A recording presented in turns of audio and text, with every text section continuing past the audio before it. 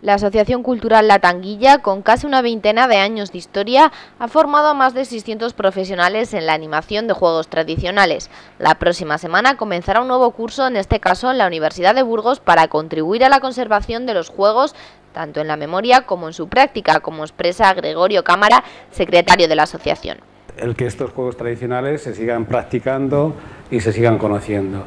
En este caso, esta actividad que programamos tiene, digamos, el fin no de educar directamente a niños, sino de educar a personas que en su, digamos, en su vida laboral futura puedan eh, enseñar a otras personas. O sea, es un curso para eh, animadores, para eh, formar a formadores posibles de niños o de otros eh, oficios o de otras categorías. Le han visto el tema como interesante para ofertársele a los eh, alumnos de la universidad y también un poco dirigido en el sentido de que eh, también puedan participar personas mayores, abuelos,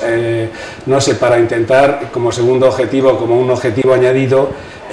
para acercar las a las generaciones de los pequeños con los más mayores. Es la primera vez que la Tanguilla imparte un curso de formación en la Universidad de Burgos, pero ya vienen realizando sesiones formativas en otras instituciones como la Diputación Provincial, la Junta de Castilla y León o diversos ayuntamientos, así como universidades como la Complutense, la de León o la de Cartago en Túnez. El aprendizaje de la tuta, la rana, la calva, los bolos o juegos infantiles como la peonza, la comba, la rayuela o las canicas están asegurados gracias a este curso que se va a desarrollar los próximos 19, 20, 21, 26 y 27 de noviembre en la Universidad de Burgos, cuya metodología se adapta al alumnado, como comenta Carlos de la Villa, director de la Tanguilla. Alternar teoría con práctica, utilización de medios audiovisuales y también muchas veces lo que hacemos es eh, adaptar la metodología y el contenido del curso a la matrícula real ¿no? que va a haber. No es lo mismo si hay un, un, porcentaje de gente que se va a dedicar a la educación infantil, que si va a ser monitor deportivo, en fin, lo adaptamos, pero la metodología es alternar teoría con práctica. La temática del curso repasará los juegos deportivos tradicionales en Europa, Castilla y León y Burgos, con una didáctica que dotará de herramientas a los futuros docentes para que puedan implantar programas de enseñanza de los juegos tradicionales en su trabajo con alumnos escolares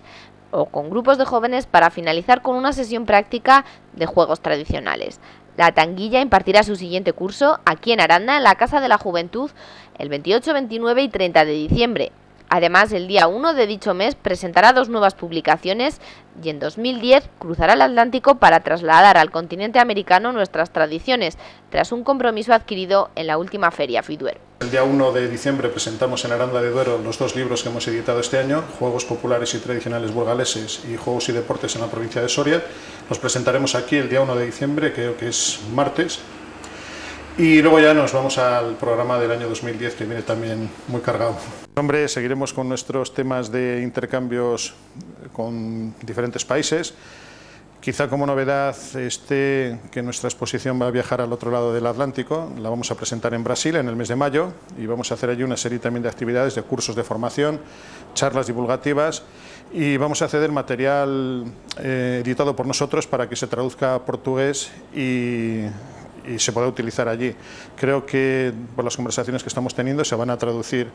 eh, una unidad didáctica elaborada por Gregorio Cámara, el compañero de nuestra asociación que lleva los programas formativos, y se editará en portugués el libro Un año de juegos que recoge los juegos infantiles tradicionales de aquí.